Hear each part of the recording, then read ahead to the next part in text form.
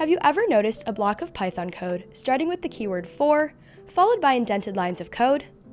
This structure is called a for loop, and programmers often use it to automate repetitive tasks. Let's start with a simple example. To liquidate inventory, a store owner wants to apply a 10% discount to the price of some items. To discount the prices using Python, the owner could, one price at a time, apply the discount, and print the results. This approach works. We did calculate the discounted prices, but writing each calculation manually has some drawbacks. Can you imagine how long it would take to implement if, instead of just four prices, the list contained hundreds of them? This is exactly where for loops shine. They can efficiently apply the same operations to every item in a list, whether it contains four prices or 400. A for loop begins with the keyword for. This keyword tells Python that we want to repeat some actions for multiple items. We follow the for keyword with a variable name of our choice. Programmers often call this variable the loop or iteration variable. During the execution of the loop, this variable will be sequentially assigned each item in the collection we want to iterate through. Since this iteration variable will hold individual price values, let's rename it price. Next, we follow the iteration variable with the keyword in.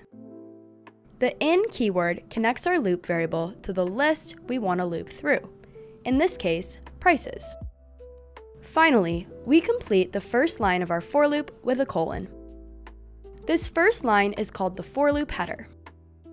Below the header, we write indented code that will run for each item.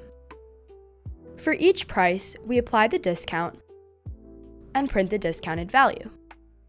This indented block is called the loop body. And that's it, our for loop is complete.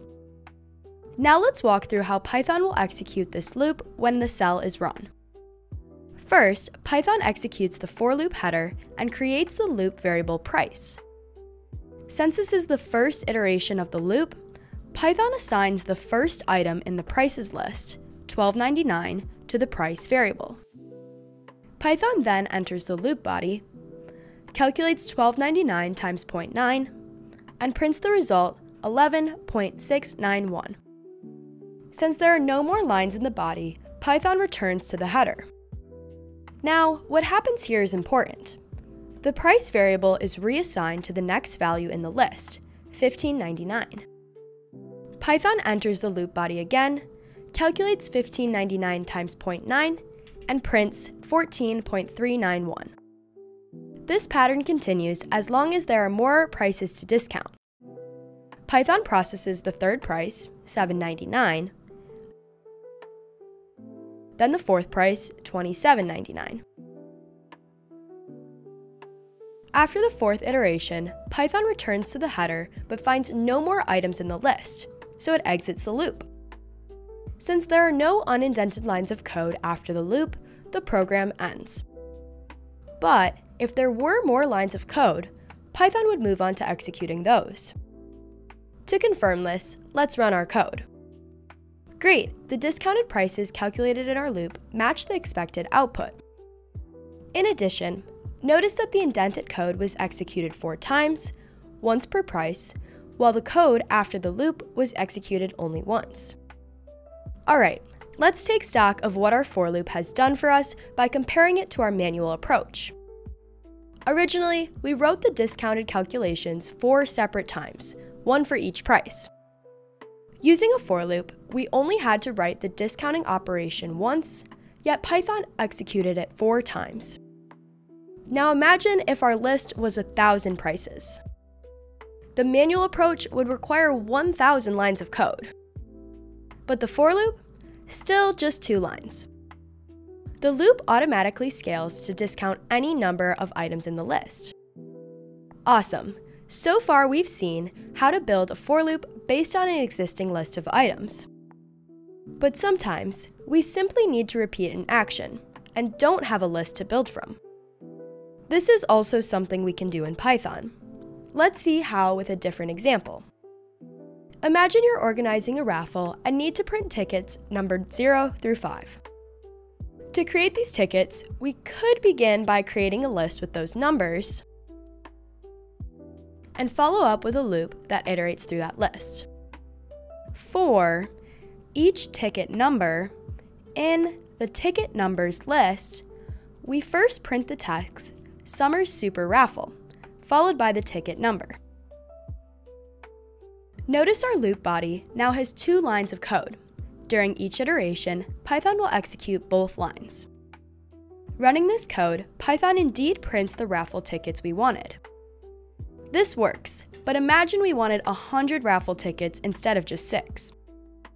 We would need to manually type out all of those numbers. Seems like a lot of work. Luckily, Python has a built-in function that can generate sequential numbers for us. This built-in function is called range. Here's how we can use it. Instead of manually creating a list of numbers and iterating through it, we can call the range function and pass in a 6 as an argument. This range function call tells Python to generate numbers starting from 0 and to stop right before 6.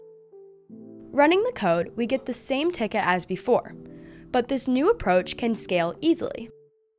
For example, if we instead pass 106 into the range function, the range function generates tickets with numbers 0 to 105 without any extra work on our end.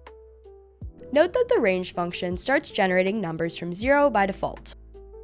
However, if we want to change this lower bound, we can specify it as the first argument.